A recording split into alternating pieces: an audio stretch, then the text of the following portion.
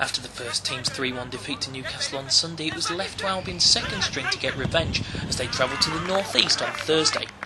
And the boys didn't disappoint as Romaine Sawyers got Albion off to the best possible start with this superb effort after 7 minutes.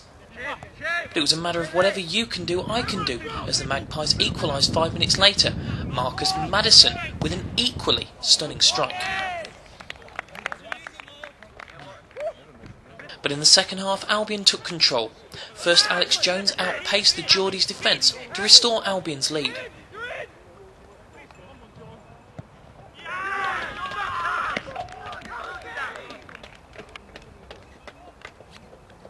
And then Sawyers doubled it five minutes later as he capitalised on some rather shaky defending.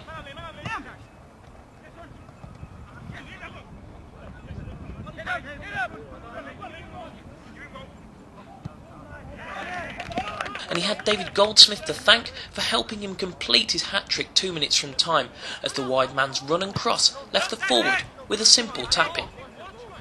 So Albion got on the bus for the long drive home with three points in the bag, and Sawyers with the match ball.